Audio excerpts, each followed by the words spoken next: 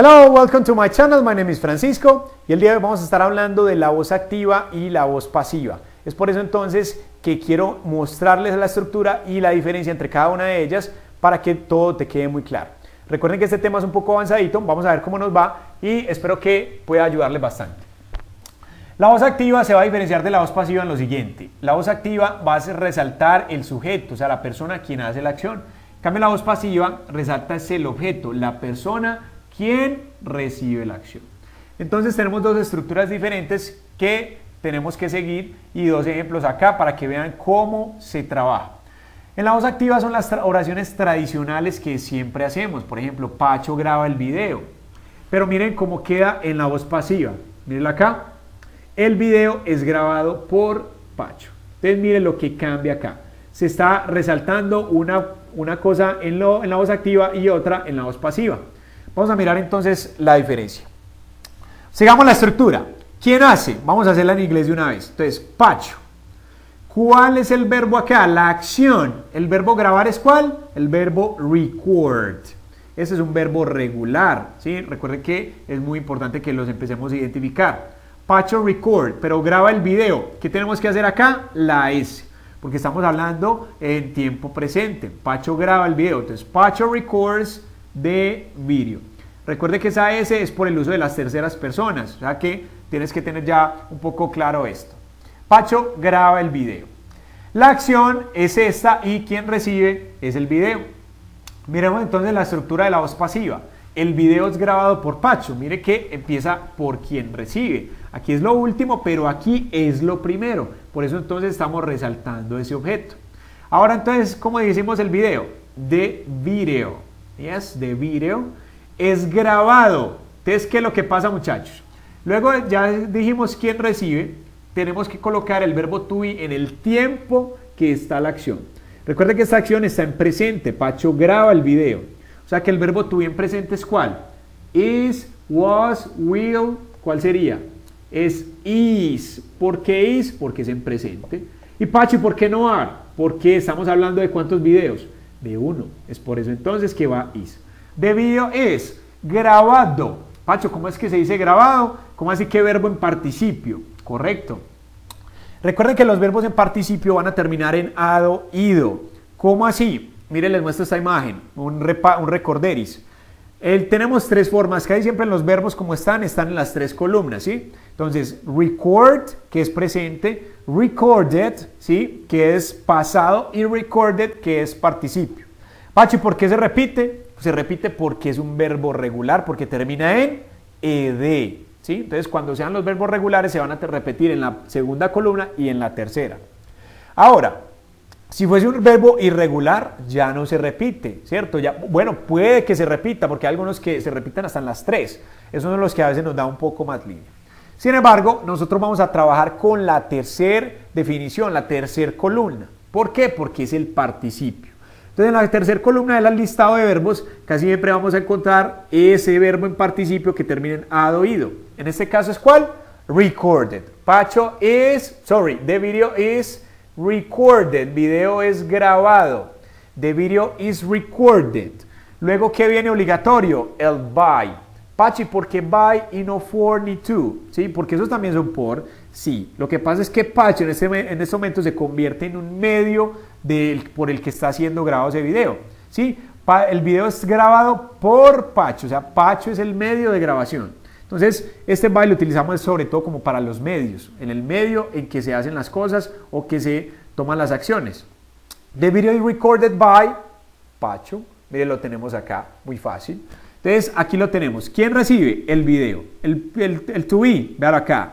Vemos participio, está en este, obligatorio el by, y ese Pacho es quien hace. Pacho, ¿y eso que dice ahí qué es? Pronombre objeto. ¿Cómo así?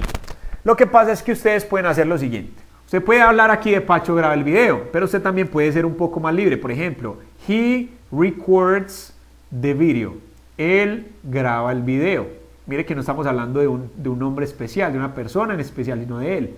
Ahora, el video es grabado por él, entonces, ¿cómo lo podríamos sacar sacar aquí muchachos? Sería, the video is recorded, igualito, the video is recorded by, ¿qué van a colocar ahí? El video es grabado por él.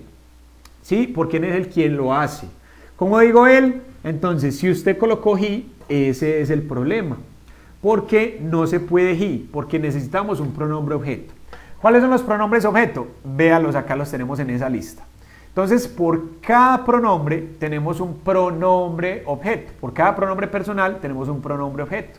Entonces, ¿cuál es el pronombre objeto que le corresponde a he? ¿Cuál es? Es him. Entonces lo vamos a cuadrar con este. The video recorded by him. El video es grabado por él. ¿Correcto? Ahí lo tenemos muchachos. Pacho, ¿puede hacer otro ejemplo? Sí, vamos a hacer otro. Vamos a colocar esta, por ejemplo, en pasado. Pacho grabó el video. Entonces, ¿quién hace la acción? Voy a colocarlo acá. Entonces, Pacho. Pacho es el que hace la acción. Grabó. ¿Cómo digo el verbo eh, grabar en pasado? Ya lo vimos y vuelvo y traigo la lista. Pacho grabó. ¿Cómo sería? Recorded. Estoy utilizando la de la mitad.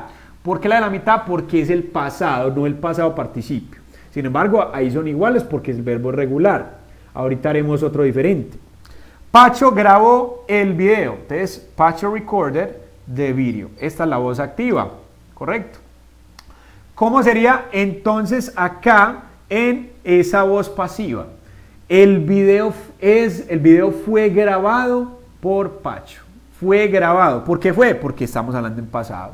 Entonces, ¿cómo digo acá entonces el video fue grabado? Entonces, the video, ¿sí?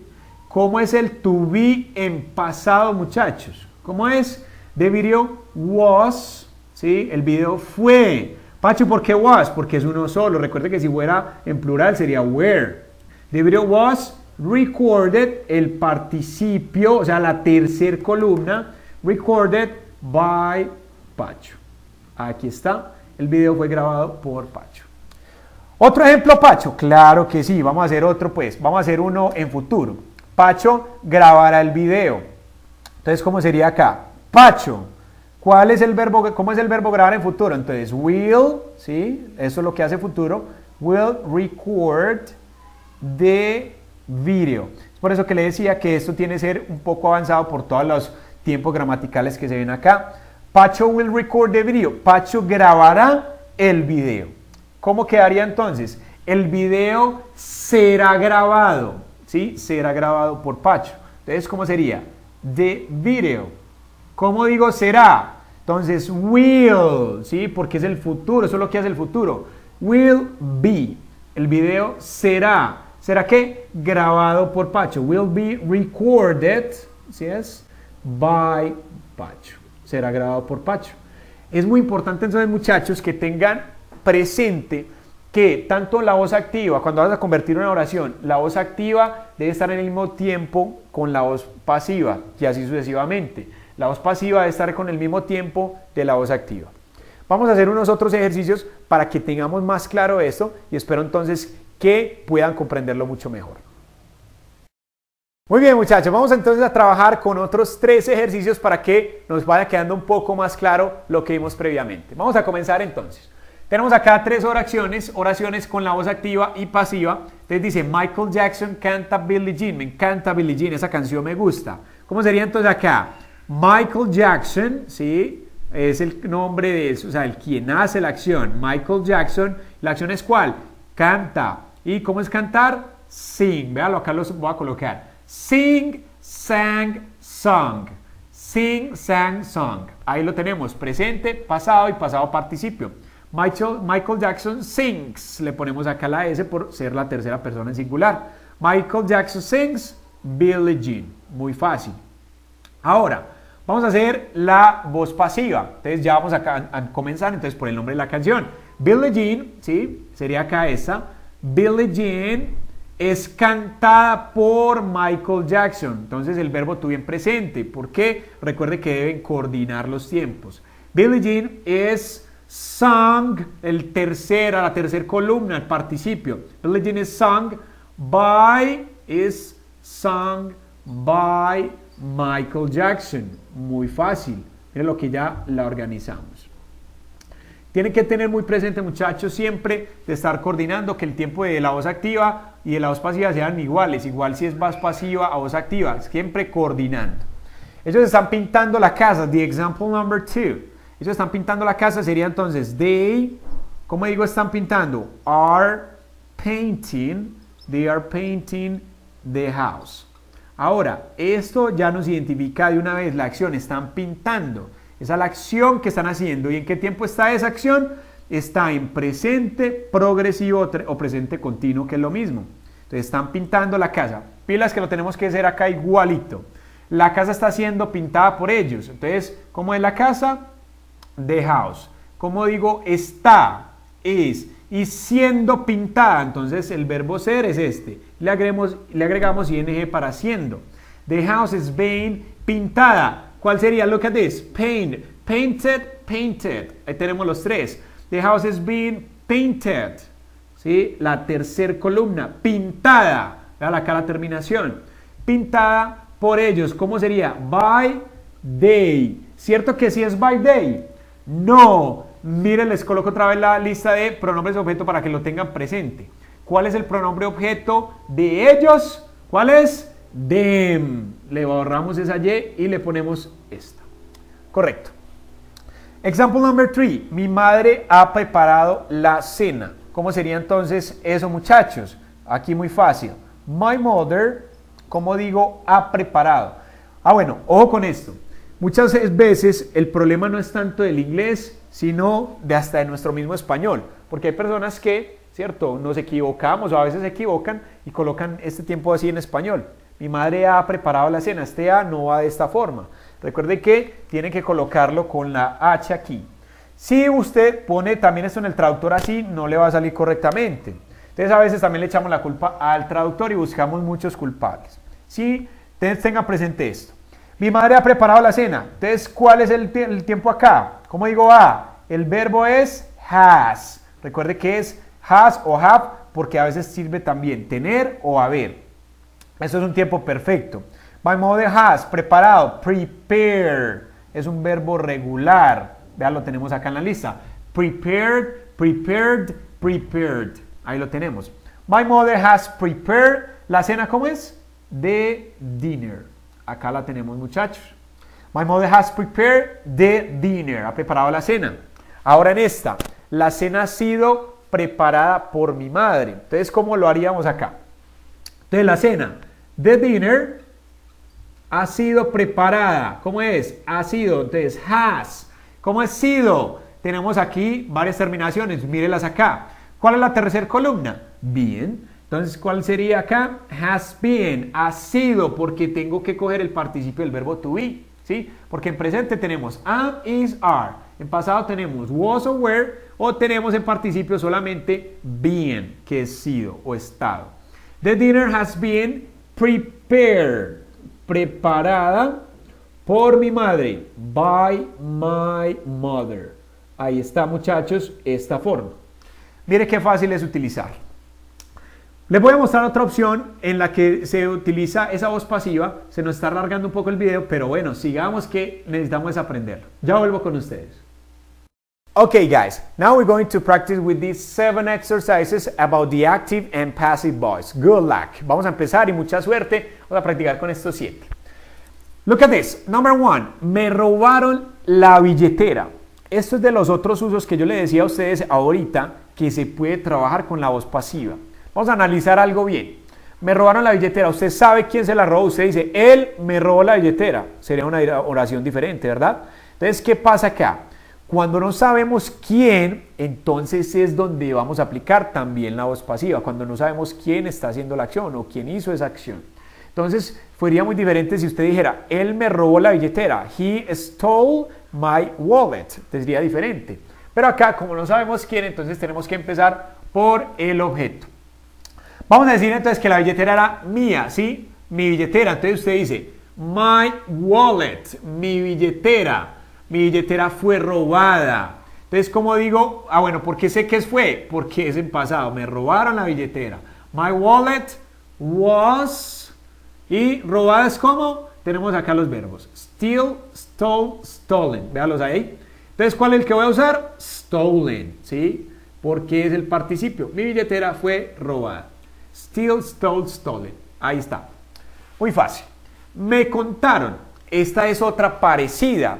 En este momento usted dice, él me contó. No, me contaron, pero ¿quiénes? ¿Quiénes se contaron? Cuando desconocemos de las personas que nos están haciendo la acción, entonces vamos a utilizar la voz pasiva obligada. Me contaron, entonces ¿cómo digo? ¿A quién le contaron? A mí. Entonces ¿cómo digo yo? I was, yo fui contado. ¿Cuál es el verbo contar en, pasado participio? Entonces tenemos acá los verbos tell, told, told. Entonces ¿cuál lo vamos a utilizar? Told. I was told. ¿Sí? Eso suena un poco raro, ¿no? Yo fui contado, pero así es muchachos. I was told that, me contaron que. I was told that y vas a colocar la razón. Number three, we swim in the pool. Nosotros nadamos en la piscina. ¿Cómo haríamos esto entonces en la voz pasiva? We swim in the pool. ¿Cómo lo haríamos? A ver, vamos a pensar. ¿Se puede o no? No se puede, muchachos. Más, esto suena muy raro. En la piscina nosotros nadamos, no. O la piscina fue nada por nosotros, no. Nada de esas cosas. Eso no se va a utilizar. Es más, no siempre se utiliza la voz pasiva. Es muy poco común el uso de la voz pasiva en inglés. Se ve, pero no es tan común. Entonces no podemos aceptar que todas las oraciones se pueden hacer. Entonces acá no aplica. ¿Correcto? Number four. The ball will be found by the dog. ¿Esto es qué? ¿Voz activa o pasiva? ¿Ustedes qué dicen? The ball will be found by the dog. La voz pasiva. El la pelota, perdón, será encontrada por el perro. Entonces tenemos el verbo encontrar acá. Y estamos hablando de futuro con will. El verbo encontrar tiene las tres formas, que es find, found, found. Véalos ahí. ¿Cómo diríamos entonces? Como vamos a colocarla en voz activa, ¿con qué empiezo? ¿Con la pelota o con el perro? Con el perro, porque el que va a hacer la acción. Entonces diríamos acá, the dog, el futuro es cuál? Will find, ¿sí? Encontrará. The dog will find the ball. Ahí está. Mira que estamos conservando los dos tiempos. Ok, muchachos, number five. The teacher has graded the exams. El profesor ha calificado los exámenes. Mire que está en voz activa. Vamos a colocarlo en voz pasiva. ¿Por qué sé que está en voz eh, activa? Porque estamos empezando por la persona quien hace esta acción y no por el objeto. Entonces vamos a empezar por el objeto. Entonces, the exams, los exámenes, the exams han sido calificados. Que este es el verbo calificar, grade. Han sido calificados. Entonces, ¿cuál sería? Have o has. ¿Cuál escogerías de estas dos? Has o have. Si son los exámenes. Sería have. Entonces vamos a utilizarlo aquí. The exams have han sido calificados. Have been.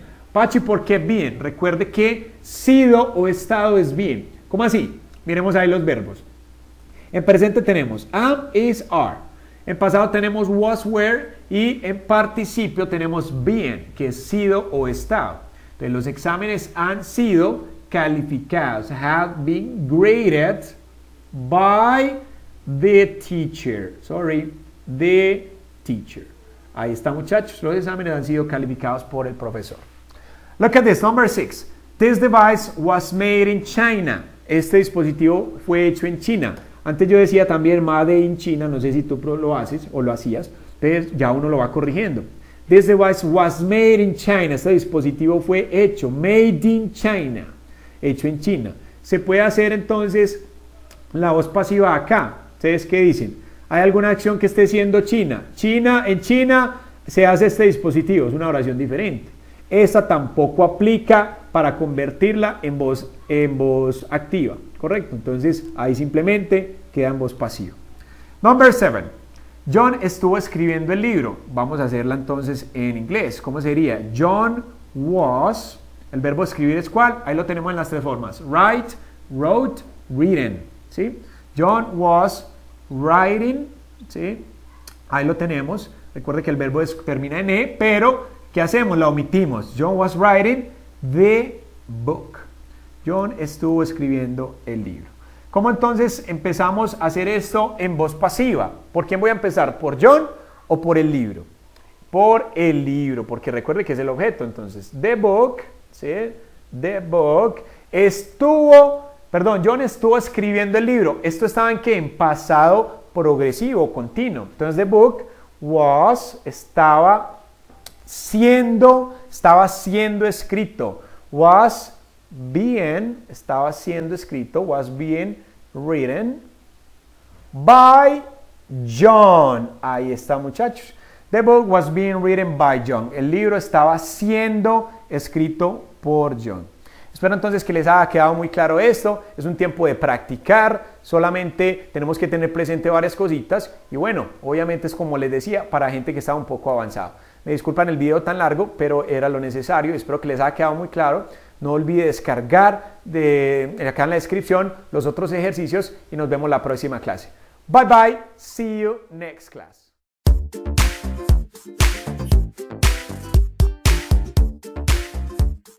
Hello, welcome to my channel. My name is Francisco. El día de hoy vamos a trabajar, por sugerencia de muchos de ustedes, una temática bastante interesante y desafiante, que es el uso de los causative verbs o verbos causativos en inglés.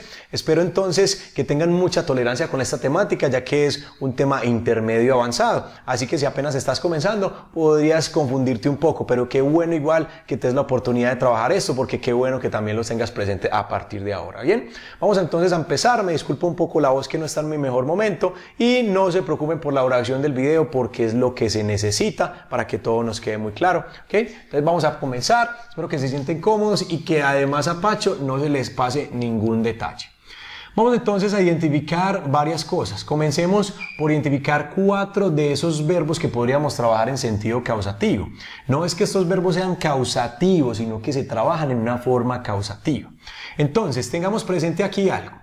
Este have y get son básicamente los verbos que a veces nos da más dificultad de comprender de esta temática. Entonces lo vamos a trabajar en voz activa y pasiva, ¿sí? Lo vamos a trabajar en esas dos opciones. Ahora, ¿qué va a pasar? El make y want los trabajaremos luego, pero solamente aplicarán la forma activa, la voz activa. Entonces tengan muy presente eso.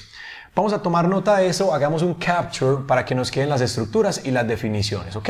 Vamos a comenzar entonces hablando con este have, ¿sí? Este verbo have lo conocemos tradicionalmente como haber o tener. Sin embargo, en esta oportunidad no va a tener ese significado de haber o tener, sino que lo vamos a entender como pedir, mandar, solicitar, encargar a alguien que haga algo o hacer que alguien haga algo. Prácticamente estos son sinónimos, muchachos, ¿sí? Entonces podríamos solicitar ese servicio es utilizado para eso, solicitar un servicio, puede ser pagado o no pagado, pero es prácticamente es una solicitud que se hace. Ahora, este have, vamos a quitarnos el sí, ojo, no va a significar acá haber o tener. Y nos vamos a ayudar con esas estructuras que tenemos, en este caso la de la voz activa, que vamos a hacer a continuación. Listo. Pacho, pero ¿por qué se llaman verbos causativos? Eso es lo que yo no comprendo. No es que sean verbos causativos, como se los decía, sino que se trabaja una forma causativa con estos verbos porque permiten que el sujeto, o sea, al usarlos, permite que el sujeto cause en otra persona una acción. No solamente hay esos cuatro, hay muchos otros, incluso hay unos que ya hemos trabajado previamente, pero seguramente no estábamos conscientes de que era una forma causativa. Vamos a empezar entonces con este primer ejemplo, me gustaría que lo intenten hacer. Es este. Ella le pide al plomero arreglar su fregadero o su lavadero. ¿Cómo harían esa oración muchachos? Listo. Entonces vamos a empezar. Ella, esa oración están presente. Tengan cuidado que es un presente simple. Entonces ella le pide. Pacho, ¿puedo utilizar el verbo ask, que es el verbo pedir? Claro que sí, agréguele la S y está bien. Es más, si tú tienes presente este verbo ask como pedir o preguntar, esto déjeme decirle que es un qué. Eso es un verbo con uso causativo, ¿sí? No es que sea el verbo causativo, sino que en esta forma está una, un sentido causativo. Pero ¿qué es eso? Mire que aquí vamos a decir algo. Vamos a continuar la oración para poder comprender. Entonces ella pide que el, el plomero arregle su fregadero. Entonces, she asks the plumber, vamos a colocar aquí the plumber, ¿qué más? To fix her sink. ¿Sí? Ahí estamos acá trabajando esa oración ya completa. Entonces, miren acá cómo funciona la parte causativa. Este sujeto, mediante este verbo, ¿sí? está causando que este plomero realice esta acción. ¿Sí Es por eso entonces que se llaman verbos con sentidos causativos. Entonces, vamos a trabajar este no has, sino que vamos a trabajar este ha. Este ya saben que le sirve, pero en este caso no vamos a trabajarlo porque es el uso de have, que es para solicitud de servicios y es mucho más común que se ask y lo van a encontrar bastante en la parte hablada sobre todo. Bien muchachos, vamos a mirar entonces acá la estructura. Empezamos con el sujeto, ¿sí? El sujeto que estamos acá iniciando la acción. Recuerde que el sujeto inicia la acción. El sujeto puede ser un pronombre personal o pronombre sujeto, que es lo mismo. Muchas veces esos términos gramaticales se conocen con diferentes nombres, pronombres personales o pronombre sujeto, pero es exactamente lo mismo. Puede ser el nombre de una persona, de varias, de un animal, algo haciendo una acción, también, no hay problema. Ahora, Viene este hub, pero este hub no lo puedo colocar acá tan libremente como lo estamos trabajando en la estructura. ¿Por qué no? Porque tiene un recorderis acá importante. Tengo que trabajarlo. Esa T que significa tiempo, en el tiempo que esté la oración. Y cuando decimos ella pide al plomero, como la oración que hay ahí, ella pide al plomero que arregle su fregadero, es oración en qué? En un tiempo presente. Ese tiempo es un presente simple. Es muy importante que ustedes con esta T tengan ahí presente o, o hagan un más bien un recorderis de cómo se tiene que trabajar ese hub. Si es en pasado, hay que colocarlo en pasado. En, presente perfecto, hay que colocarlo en presente perfecto. Listo. Entonces, esa es la parte de la T, el tiempo. Y la forma, si es una oración afirmativa, si es esa forma afirmativa, negativa, interrogativa, interronegativa. En este caso estamos trabajando con una oración afirmativa. Entonces quiere decir que como estoy trabajando una oración afirmativa es presente simple y además tengo tercera persona singular, no puedo colocar have, sino ¿Qué dirían ustedes? Si no, has. ¿Listo? Eso es lo que dice. Ahora, sigamos con nuestra estructura.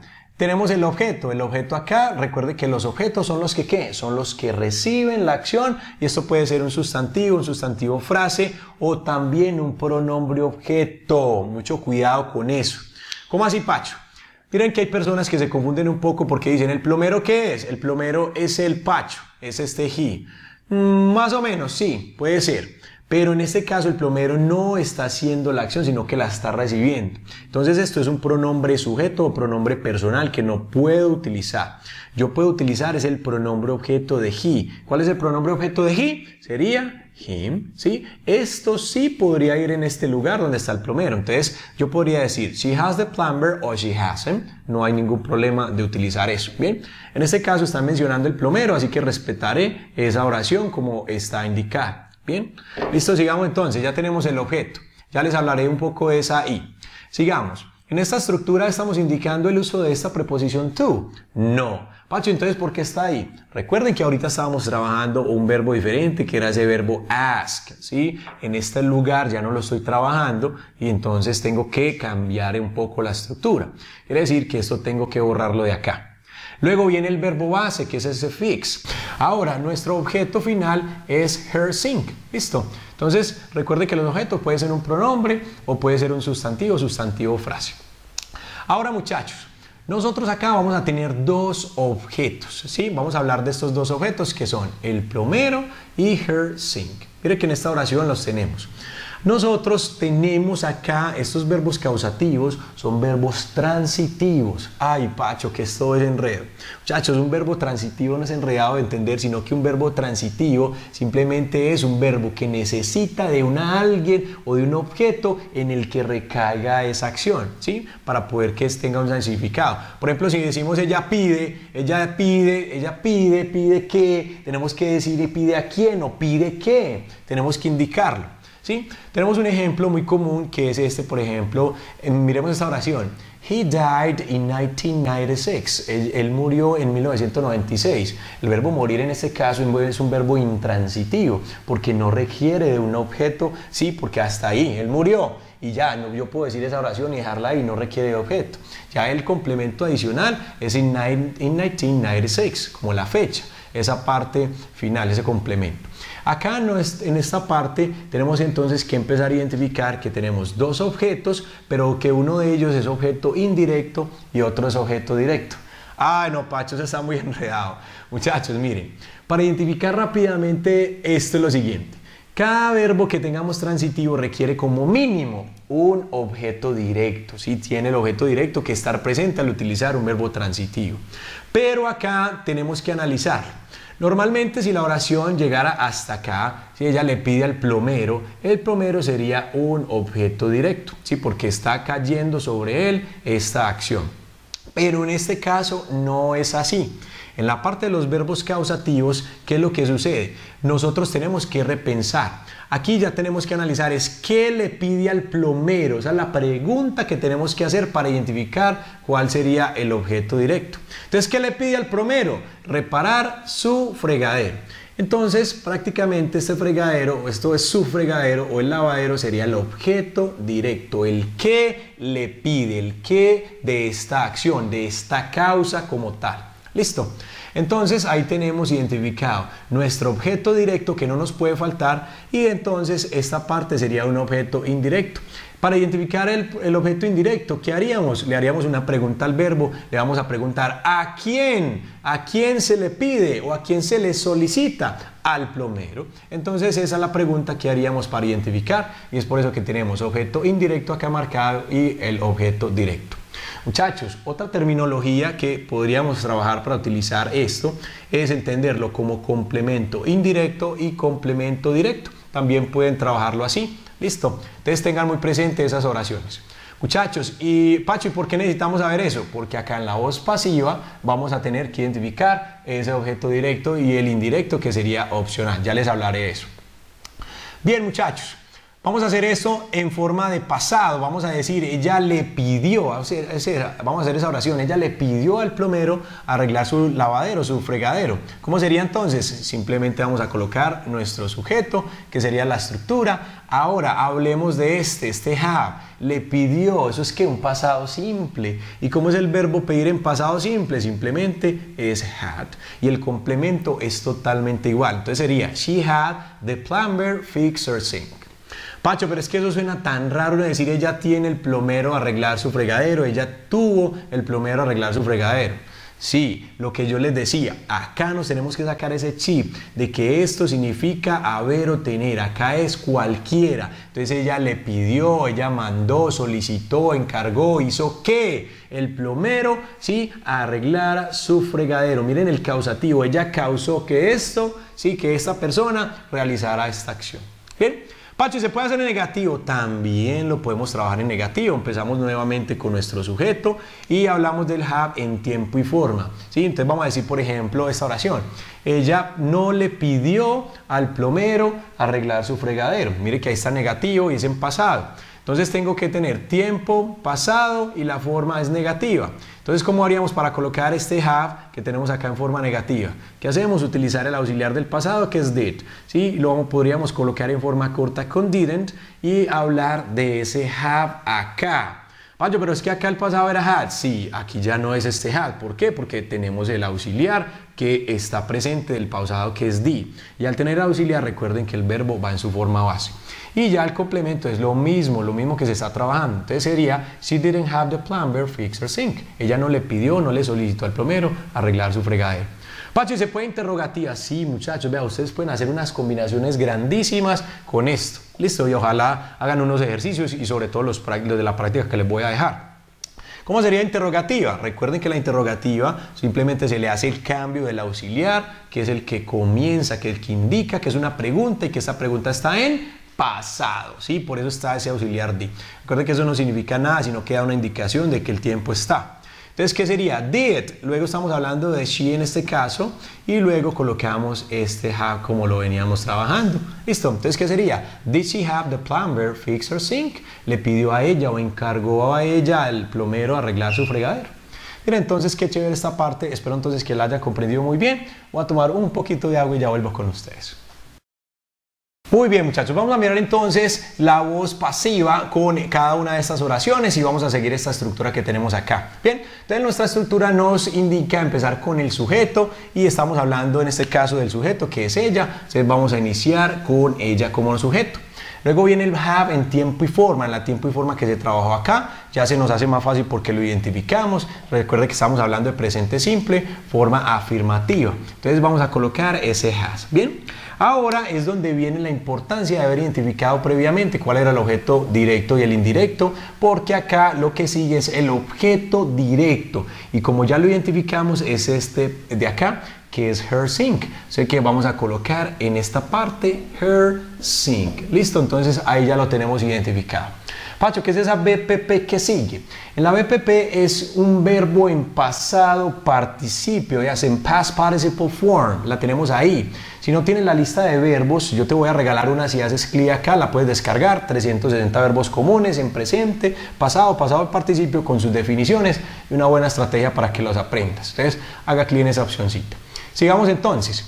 Ese, ese, verbo en pasado participio no es este el que se va a manejar, sino que se va a manejar el verbo en pasado participio que antecede al objeto directo, en este caso era este verbo fix. Fix es un verbo regular, como pueden ver en la lista de verbos, y el verbo regular quiere decir que en pasado y en pasado participio termina con ed. ¿Listo? Entonces quedó de esa manera. Ahora entonces tenemos este verbo en pasado participio, luego tenemos opcional, por eso está esa OP allá, es opcional de agregar el objeto indirecto, en este caso el plomero. Entonces usted puede decir, she has her, her sink fixed by the plumber o simplemente dejar así la oración. ¿sí?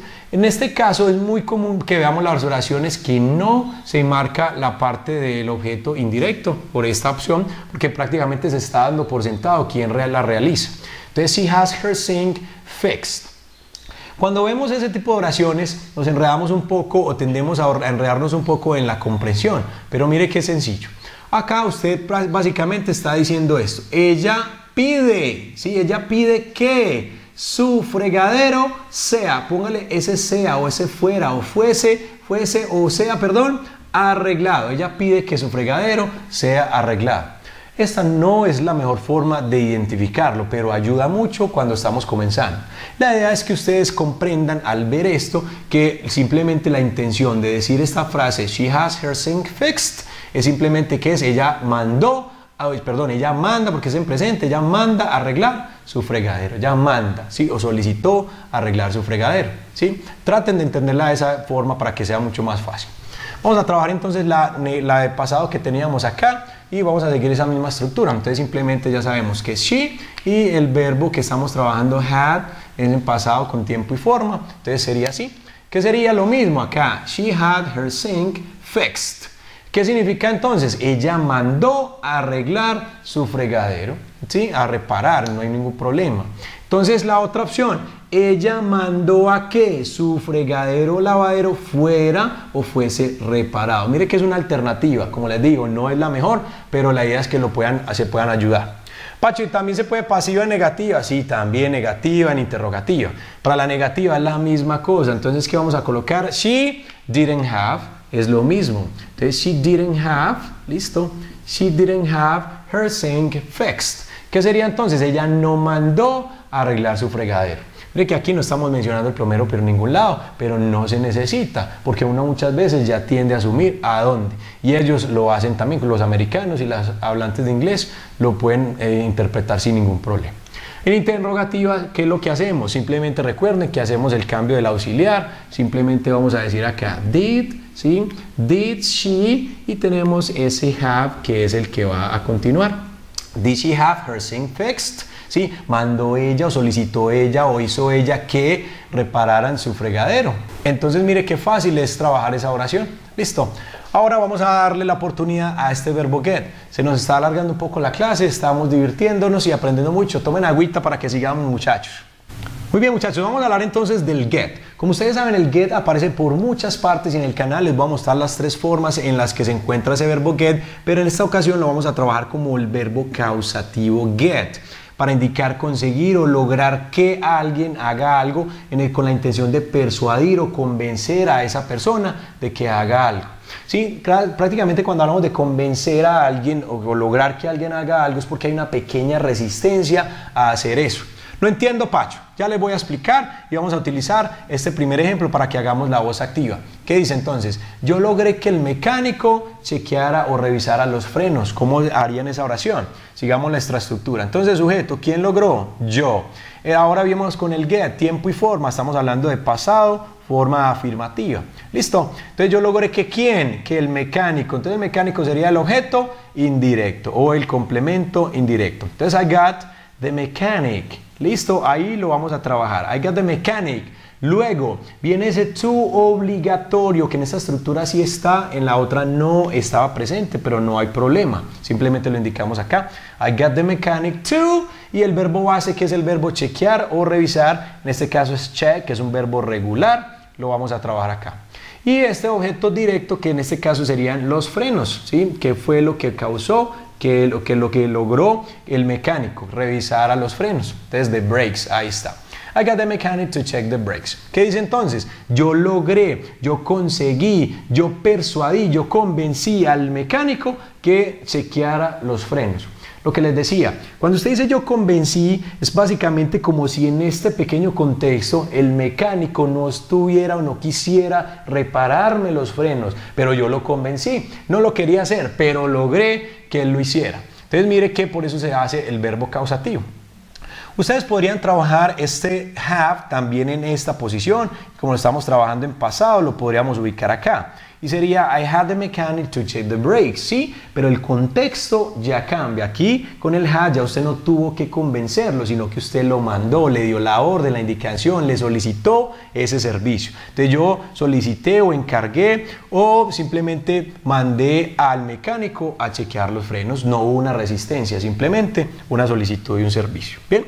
Vamos a hacer entonces otra oración para que nos quede un poco más claro esta parte del get. Intenten hacer esta. Él logrará que el, barbero corte su cabello. ¿Cómo haríamos esa oración? Sí, es mire que está en futuro. Entonces, ¿quién va a lograr? Él. ¿Listo? Mucho cuidado. Get en tiempo y forma. Necesito trabajar ese get en futuro. Entonces voy a colocar aquí will. ¿Listo? Y will qué? Will get. ¿Sí? Él logrará o convencerá. Mucho cuidado con eso. Pachi, ¿se puede go into? Claro que sí. Usted lo podría colocar así.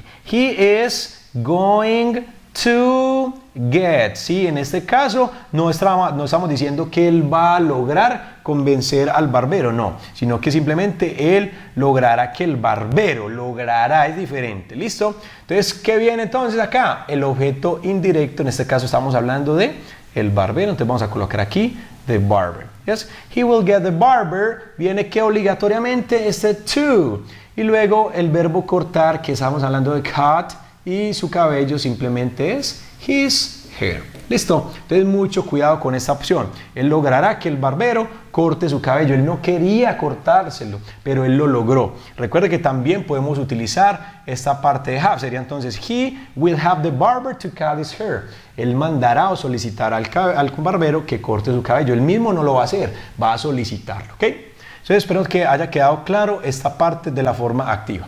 Voy a tomar otro poquito de agua y ya vuelvo con ustedes. Muy bien muchachos, vamos a continuar entonces con la parte de la voz pasiva utilizando ese get. Y para eso está esa estructura, para ayudarnos un poco. Entonces empezamos a hacer, vamos a hacer la pasiva de esta. Ya tenemos nuestro sujeto que es en este caso I. Listo, el get en tiempo y forma ya lo habíamos identificado, es este de acá. Y luego, ¿qué viene? El objeto directo. Mucho cuidado que este era qué? El objeto indirecto. O sea que yo necesito identificar el objeto indirecto, la causa. ¿Sí? ¿Qué va a, perdón, ¿a qué convencí el mecánico de que revisara qué? Los frenos. Entonces ese se convierte en nuestro objeto directo y básicamente siempre va a tener esa posición. Listo, entonces en este lado que va, el objeto directo que tenemos que es the brakes. Listo, aquí lo vamos a marcar.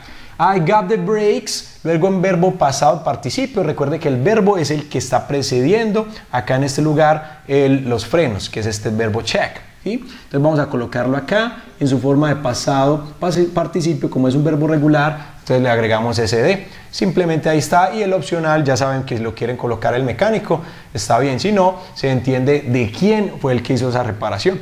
Entonces, ¿qué dice ahí? I got the brakes checked. Acá en la parte pasiva no se va a manejar ya la parte de convencer, ¿sí? Sino que acá se trabaja es como a modo de solicitud. I got the brakes checked. Yo mandé, yo solicité a arreglar los frenos. Pacho, ¿cómo así? Ahí sí ya no entiendo. Entonces, ¿cuál es la diferencia de utilizar ese got en la voz pasiva y ese had? ¿Sí? Acá no tienen diferencia.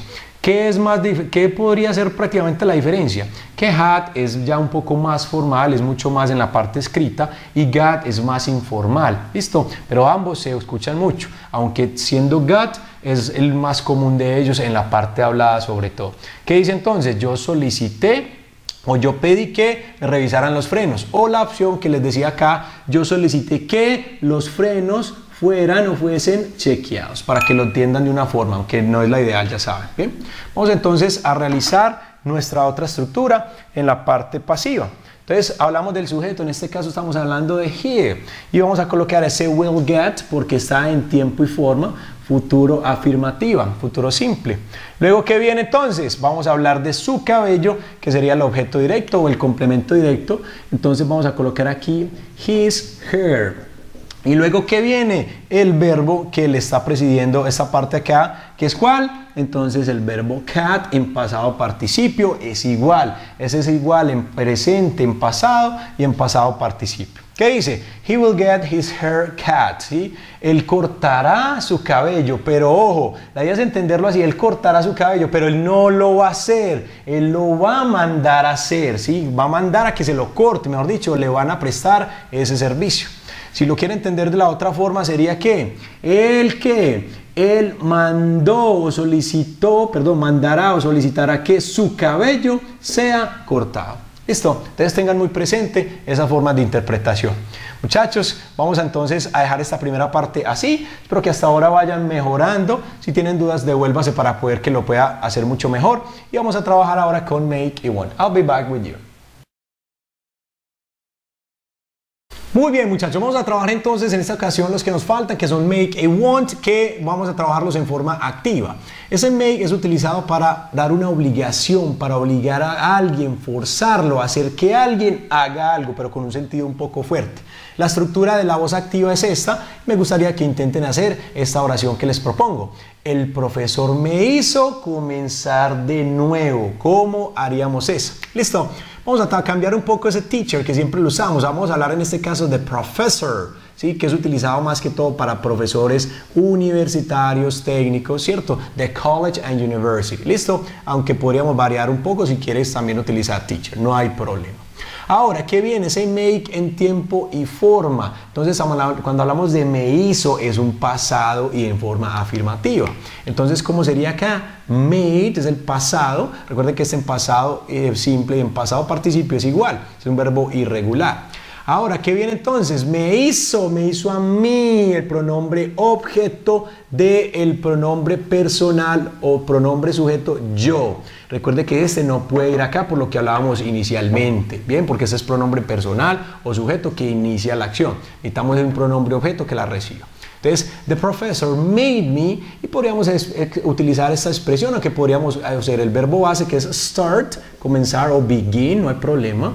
Y podría ser again, para decir otra vez, o esta que es muy común también, que sería start over, que además nos sirve también de objeto directo. Listo. Entonces, the professor made me start over. Ahí está entonces como lo podríamos realizar.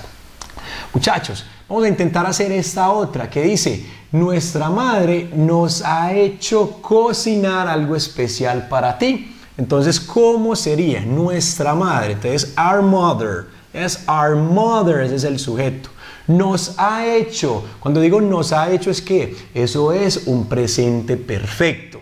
Entonces tengo que colocar el make en tiempo presente perfecto, ¿sí? Entonces vamos a trabajarlo de esa forma, tiempo y forma afirmativa. Entonces, ¿cómo sería?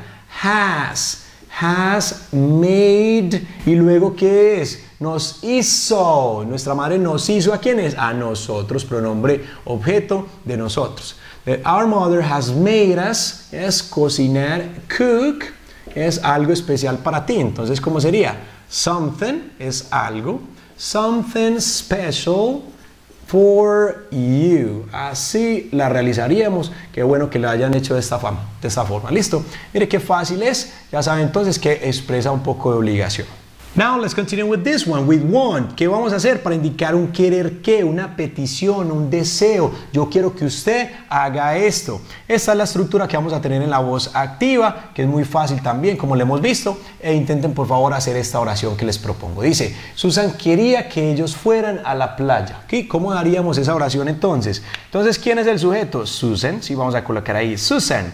Ahora, quería el want en tiempo y forma, ¿sí? Forma afirmativa, tiempo pasado. ¿Cómo sería? Entonces, wanted o wanted, ¿sí? Cualquiera estaría bien.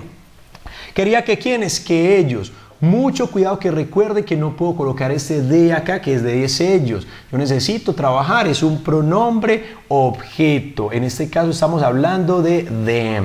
Es Susan wanted them o wanted them, ¿sí? Quería que ellos, ahora viene este to que es obligatorio, wanted them to y el verbo ir que es el verbo go. Wanted them to go to the beach. Listo, mire qué fácil es realizar esta parte. Entonces quería, ella deseaba eso, ella les hizo esa petición. Listo, vamos a hacer entonces otro ejemplo más. Look at this one quieres que vaya contigo? ¿Sí? ¿Cómo haríamos esa pregunta, muchachos? ¿Sí? Es una pregunta en presente, ¿sí? Presente. Entonces, ¿cómo sería? Vamos a trabajar ese do, que es el que nos va a ayudar. Entonces, do you, yes, y vamos a seguir con el one en tiempo y forma. En este caso ya el tiempo lo está indicando este auxiliar. Quiere decir que cuando el do está presente los auxiliares, recuerden que ese one o el verbo que estemos trabajando acá va en su forma base. Do you want? ¿Quieres que vaya contigo? Que yo vaya contigo. Ese, want, ese yo es este mismo que hablábamos ahora. Do you want me? Yes. Do you want me to go with you? Yes. Do you want me to go with you? ¿Quieres que vaya contigo? Mira entonces qué chévere haber realizado estas oraciones. Espero entonces que hayan comprendido muy bien el trabajo con estos vamos a practicar un poco ya para terminar con estas seis oraciones para que intentemos comprenderlas. ¿Ok? Look at this. Number one. She had her house painted. Aquí, ¿qué podemos identificar? Podemos identificar rápidamente que esto es una oración en voz pasiva en pasado con el had. ¿Por qué sabemos? Porque estamos hablando acá del objeto directo y estamos hablando de un verbo en participio. Entonces decíamos acá, ahora, recuerde que have es para solicitud, petición, mandar. Entonces ella mandó a pintar su casa. Eso es lo que tenemos que entender. Si lo quieren trabajar de la otra forma, ella mandó a que su casa fuera o fuese pintada. Mire que podríamos tener alternativa. Bien, let's continue with number two. I made the children tidy up their room. ¿sí? Entonces yo hice que los niños, que yo hice, obligué lo que estábamos viendo, hice que los niños limpiar, perdón, organizaran el cuarto. Tidy up the room. Very easy number two. Now let's go with number three. Try to understand it. Intenten entender esta primero. You got me to change your broken window. ¿Qué sería acá? ¿Esto es, voz, ¿Esto es voz pasiva con got? No. ¿Por qué? Porque estamos utilizando este tú acá. Entonces no es voz pasiva, es activa. Y aquí vamos a hablar de convenciste o lograste que. Entonces tú lograste que yo que cambiara tu ventana rota. ¿Listo? Entonces ahí tenemos esa opción. Number four, do you want us to practice? Muy similar a esta. ¿Qué entonces estamos diciendo? ¿Quieres que practiquemos? Do you want us to practice more? Ahí está entonces, muchachos. Esa está muy buena. Number five, we got the carpets cleaned. Mucho cuidado, estamos trabajando el got acá. Aquí también lo trabajamos, pero aquí era qué? Voz activa. Y aquí sabemos de una vez que es voz pasiva porque el to no está presente. Además, porque estamos trabajando ese verbo en pasado participio. Entonces, we got the carpets clean. ¿Qué pasó? Mandamos a limpiar las alfombras. Lino, ojo que no son carpetas, porque carpetas es folders. Entonces mandamos a limpiar las alfombras, ¿sí? O también lo podríamos entender, nosotros mandamos a que las alfombras fueran limpiadas. Listo, si lo quieren entender, ya saben que la mejor es la que siempre hablamos. Look at this six and final. Look at this. You should have made your brother call the police. Interesante esta. Esta no la voy a hacer yo. Adivine quién usted. Así que por favor en la sección de comentarios intenta darle respuesta a cómo sería esta opción. Muchachos, les agradezco a esta clase maratónica del día de hoy. Primera vez que hago una clase tan larga, pero era necesario.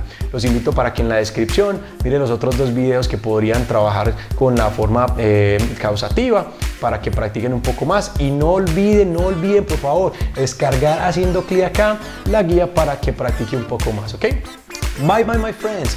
Don't forget to subscribe to invite many other people to my channel and share all these videos, okay? Nos vemos entonces la próxima. See you next class. Bye bye my friends.